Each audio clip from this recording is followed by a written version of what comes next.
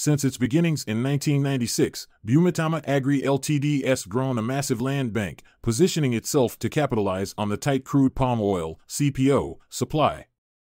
Here's the scoop for 2024. With its managed estates and El Nino on the horizon, BAL is set for a surge in earnings thanks to steady prices and lower costs. Expectations are high with a forecasted average selling price of 10,584 Indonesian rupiah per kilogram and a jump in earnings to 2 trillion Indonesian rupiah.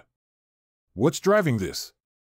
a robust rise in palm oil prices, pushing BAL's NPAT/kg from 1,400 Indonesian rupiah per kilogram in 2023 to a projected 1,800 Indonesian rupiah per kilogram in 2024. Our take? It's a definite buy. Bal's undervalued, trading at a 50% discount despite its excellence. Its FY24 FPE of 8.1x sits right with Singapore's sector average.